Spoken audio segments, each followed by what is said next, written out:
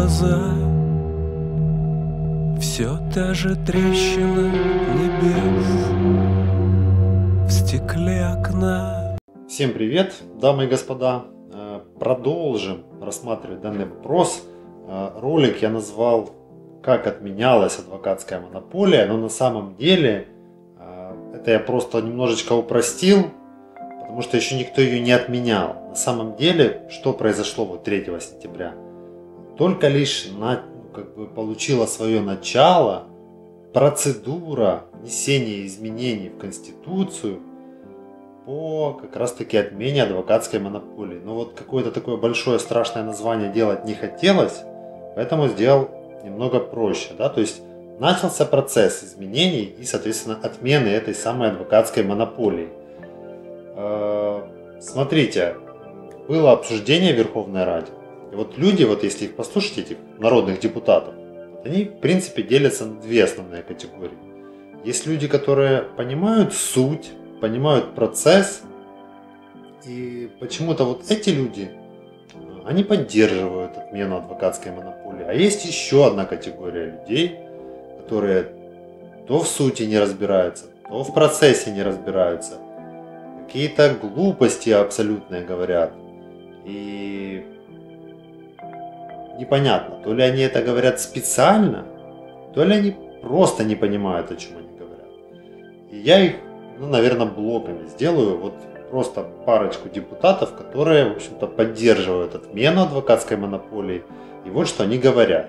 Я думаю, що всі ми останні роки зіткнулися з тою монополією, яка попередня влада намагалася створити в адвокатурі теж.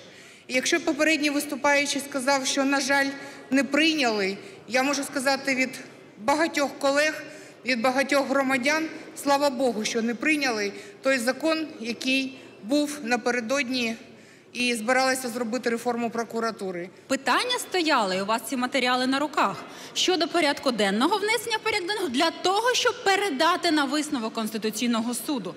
Чи ми проти того, щоб такий важливий законопроект передався на висновок Конституційного суду?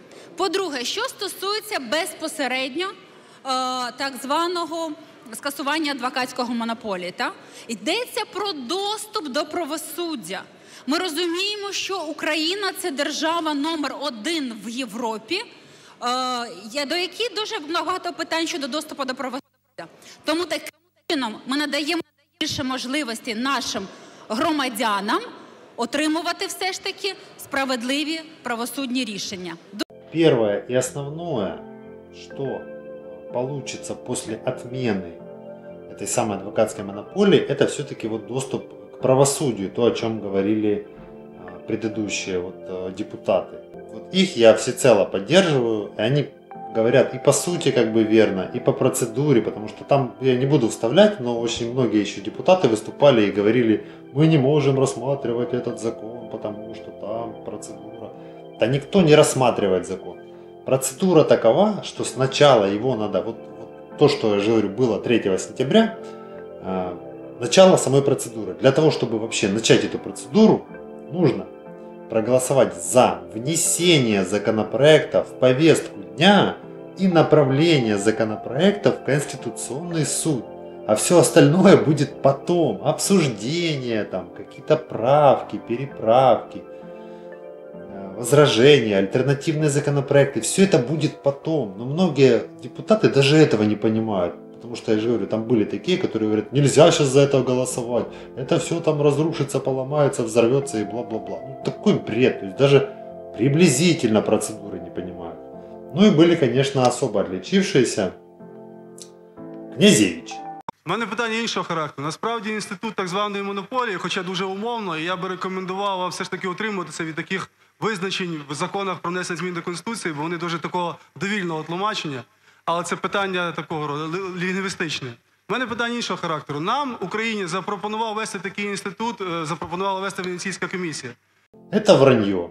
Венецианская комиссия не предлагала такого института нам. Потому что Венецианская комиссия работает по-другому. Сначала вот вы, вот, ну, я так понимаю, Князевич тоже там был, наверное, в предыдущем созыве. Я не проверял, но неважно. То есть предыдущая, короче, Верховная Рада. Вы создали законопроект, и от, внесли туда эти нормы с адвокатской монополией и отправили его в Венецианскую комиссию. А сама Венецианская комиссия вам ничего не предлагала. Это вранье, Князевич. Князевич просто берет и нагло врет лицо. А, следующий у нас кто? Герасим. Після того, як він буде спрямований в Конституційний суд для отримання висновку, я рекомендував би почати широке обговорення з експертами, з громадськістю, з адвокатами, тому що дійсно є багато моментів, яких ми не можемо допустити. І один з ключових це якраз існування безоплатної правової допомоги. Почему-то раньше Герасимов не задумывался о том, что ну, вот когда вы- они вводили адвокатскую монополию, что нужно это обсуждать с широкими верствами населения, як він каже. Но при этом он, вот сейчас он говорит, нужно это все обсуждать там с адвокатами, с экспертами, а с юристами. Почему ты про вот что-то да не про юристов молчали, не хотели с юристами обсуждать э, введение адвокатской монополии. Что сейчас он не хочет обсуждать с юристами этот вопрос? Молодец Герасимов. Еще он там, э, я так понимаю, оговорился, он сказал, что нельзя допустить существование бесплатной э, правовой помощи. Наверное, хотел сказать, нельзя допустить отмену бесплатной правовой помощи. Видимо, такая оговорочка по Фрейду. Но, но как бы в данном законопроекте ничего не идется о этой системе бесплатной правовой помощи. То есть Герасимов просто хочет вот так накинуть на это еще, знаете, такое чего-то от себя, чтобы показаться в глазах людей, что вот я тут защищаю бесплатную правовую помощь.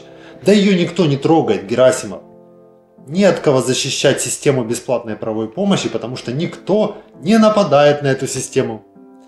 Ну, надо же себе набить, наверное, политический этот рейтинг или что там. А, Лубенец. Але дійсно ми підтримуємо саму логіку, чому людина, яка сама має юридичну освіту, але не має адвокатського посвідчення, не може себе самостійно захищати в суді. Несмотря на то, что потом Лубенец рассказывал как бы правильные вещи, но вот эту фразу я его выдернул и вставил. Я надеюсь, что он просто как-то оговорился. Потому что вот то, что он ляпнул, это просто полный бред. Если человек хочет самостоятельно защищать э, себя в суде, то ему даже ну, нет необходимости иметь юридическое образование. Это было так всегда, и это есть так сейчас. А он вот говорит, что ну как так можно сделать, чтобы человек, который имеет юридическое образование, не мог сам себя защищать. И раньше он мог, и сейчас может. Надеюсь, что это просто ляп. Следующий у нас это, ну это вообще красота, это Пипа. Е, Фракція голос дуже підтримує ідею такого закону, але вважаю його зараз дуже недопрацьованою. І ми, бо не по-перше, не було часу внести е, інші альтернативні законопроекти. Ми вважаємо, що він потребує доопрацювання, і, зокрема, в тому моменті, що можливість, що людина зараз сама буде представляти себе в судах, а в нас в Україні дуже низька довіра до судів. Що це не, не здорожчить ще більше послуга адвокатів, тому Я раз 10 переслушивал вот эту ее фразу. И я так и не нашел в ней логики. Во-первых, она говорит, законопроект не, недоработан. Как бы сам законопроект, вот если взять его, ну, законопроект, он имеет определенную форму. А, Он вот, вот такусенький. Там, грубо говоря, написано выключите фразу вот такую-то. То есть из статьи 131, циферка 2, надо исключить фразу, где указано, что только адвокат может представлять интересы другого лица в суде. Все. Как он может считаться недоработанным, я так и не понял. То есть надо было как-то по-другому исключить фразу эту или что. То есть абсолютно простая логика. Убрать адвокатскую монополию, исключив из Конституции соответствующую норму. Но это как-то недоработано с, по логике Пипы. А Второе, альтернативные законопроекты. У вас есть возможность носить альтернативные законопроекты. Вносите, как только там соберете 150, по-моему, подписей, и вносите. Они будут рассматриваться. Никакой проблемы нет. И последнее, это вообще просто, просто, я не знаю, уже разрыв шаблона какой-то. А, Вот она говорит, типа, а мы это если отменим, вот э, человек будет, э, человеку придется защищать э, самостоятельно себя в суде. Да вопрос же не в том. Вопрос в том, чтобы монополию убрать. То есть вот раньше было как, ну и сейчас. Человек может сам себя защищать, и в основном адвокат только может представлять интересы. А хотят сделать так, чтобы человек сам, адвокат, либо иной, либо иное лицо, там, специалист в области права, юрист, правозащитник, ну, в принципе вообще кто угодно. Но это, говорит, почему-то приведет к удорожанию э, услуг адвоката. Почему? Если конкуренция вырастет, то есть фактически мы вернемся к тому, что было, э, но при этом возрастут цены на услуги адвоката. Пипа, двойка, садись. І последнє це Клімпуш Цинцадзе. Ми, як комітет, ухвалили рішення, е, що необхідно і вважаємо за доцільне звернутися до Європейської комісії за демократію через право до Венеційської комісії щодо отримання висновку про відповідність проекту закону європейським стандартам та цінностям. Климпуш Цинцадзе сейчас возглавляет комитет по евроинтеграции. Вот она говорит, что они такое вот предложение а, выдвинули, чтобы отправить данный законопроект в Венецианскую эту комиссию. При этом когда у нас вводилась адвокатская монополия и э, законопроект попадал э, точно так же в комитет по евроинтеграции, то тогда комитет по евроинтеграции, как я вам говорил в предыдущем ролике, дал свой короткий вывод, где указал, что этот вопрос э, не касается приоритетных сфер евроинтеграции, либо же вообще касается каждой отдельно страны, которая входит в состав Европейского Союза. То есть они просто умыли руки и сказали, что Комитет по евроинтеграции фактически не имеет никакого отношения к данному законопроекту. Мы не за и не против, мы вообще рядом стоим. А, а знаете, кто тогда возглавлял Комитет по евроинтеграции? Ирина Геращенко, одна из таких э, боевых э, собратьев Петра Порошенко. Теперь комитет по евроинтеграции, другой боевой товарищ Петра Порошенко, возглавляет Климпуш Цинцадзе. Но теперь почему-то в комитете по евроинтеграции совсем другая позиция. Нужно, оказывается, этот вопрос все-таки передать на э, рассмотрение Венецианской комиссии, чтобы они там дали ответ, а соответствует ли это высоким европейским ценностям или нет. Я очень надеюсь, что Венецианская комиссия, ну если передадут им туда этот законопроект, даст наконец-то конкретный и простой ответ на этот вопрос, что, ребята, этот вопрос э, ну, является исключительной компетенцией вашего государства и нам вообще по барабану. Адвокаты у вас там будут, юристы, правозащитники, как хотите, так и делайте. Вот такое было рассмотрение, как я вам уже говорил, в итоге, понятное дело, его внесли этот законопроект в повестку дня и отправили в Конституционный суд для того, чтобы а, он дал свое заключение по данному законопроекту. Но что еще такое меня больше всего возмутило даже, наверное, так скажем, возмутило, это то, что в законопроекте они хотят изменить только статью 131 с циферкой 2.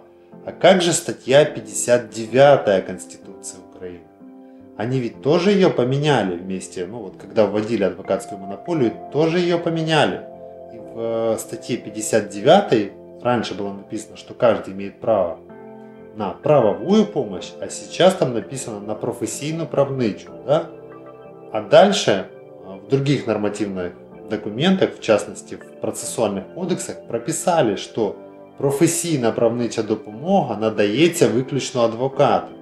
То есть непонятно, как вы, убрав одну норму, вот эту вот 131.2, при этом оставите норму 59, и опять будет то же самое, или как? Ну, то есть в итоге такие недоработанный законопроект. Пипа, наверное, все-таки была права. Но я не знаю, может, они просто потом нормы кодексов поменяют и пропишут, что професійна правнича допомога это нечто другое.